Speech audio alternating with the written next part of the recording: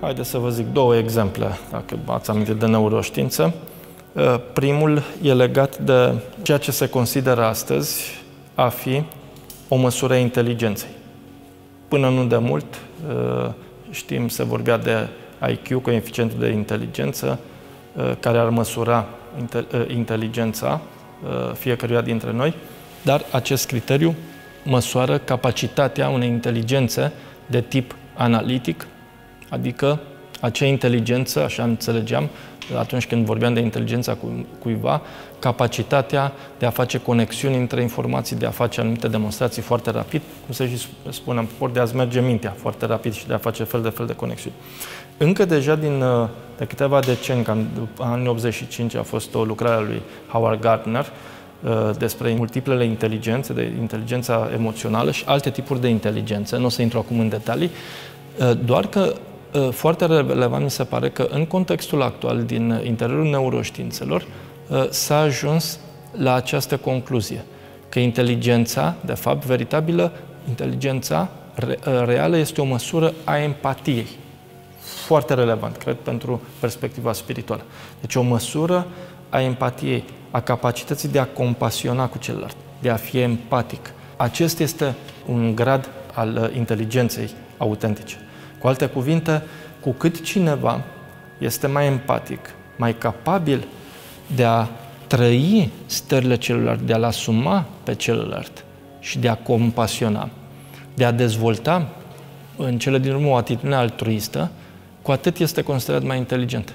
Uh, și spun că este relevant pentru perspectiva spirituală, noi știm, bună oară, plecând de la tradiția noastră filocalică, în interiorul tradiției ortodoxe. Știm acest lucru.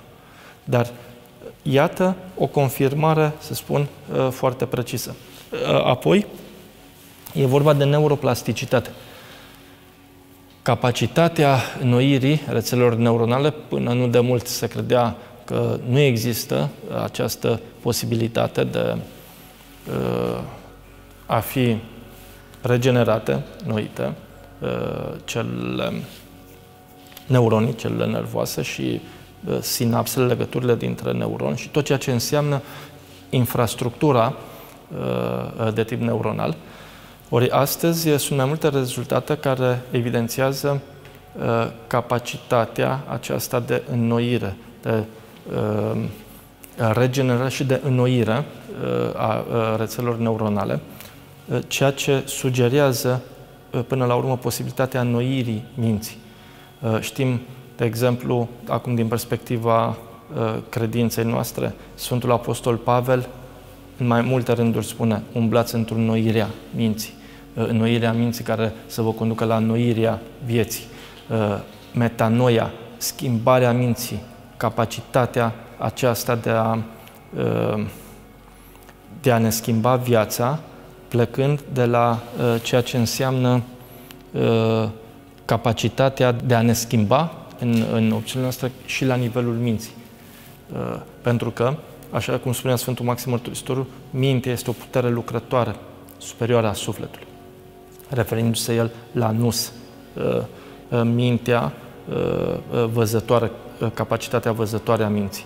Uh, ca fiind o putere superioară a sufletului. Și atunci, multe articulații pot fi făcute uh, valorificând uh, tradiția filocalică, tradiția noastră spirituală și împlinind până la urmă, împlinind aceste deschideri dinspre neuroștiință. Noi nu trebuie să ne justificăm credința sau, știu eu, să ne găsim suportul în aceste rezultate.